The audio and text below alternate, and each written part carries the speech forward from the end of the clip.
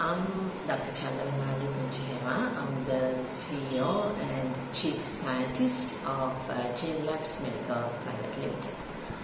First, to tell a little bit about myself, um, I have got my BSc from the University of Colombo, and then um, I've got I got the PhD from University of Arizona in USA. Um, um, and uh, during this time and subsequently uh, as a postdoctoral fellow, uh, I have got involved in a lot of uh, work related to biotechnology um, in terms of carrying out research.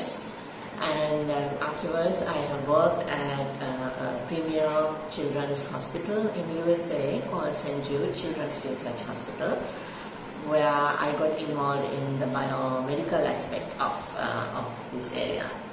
So one of the projects that I was involved in um, was where we um, isolated DNA from children with brain cancers and then tried to um, identify common changes in their DNA which would later on um, help with either diagnosis or treatment of these cancers. Um, so um, all, all this work mostly on research side but very interesting work and um, um, that led to a lot of publications.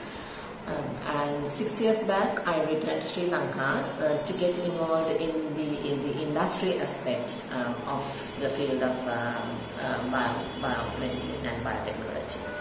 So I got involved in establishment of the the molecular diagnostic lab at uh, Lanka Hospitals um, where we um, carried out a lot diagnostic tests um, in infections and other diseases.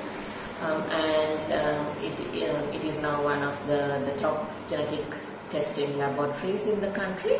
So, and but two years back, I um, started Genelabs Medical Private Limited. So uh, what we do at Genelabs um, is mainly diagnostic genetic testing in, in different areas of uh, the field of medicine and we also carry out research and um, help with academia in, in their research.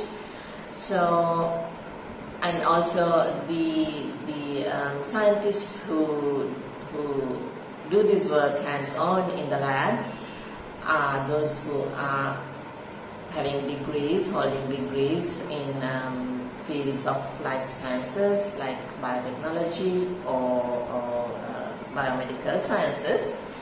So for anybody interested in a career in life sciences um, and in a career that involves work like what we do, uh, biotechnology and biomedical sciences are very prominent areas uh, to pursue.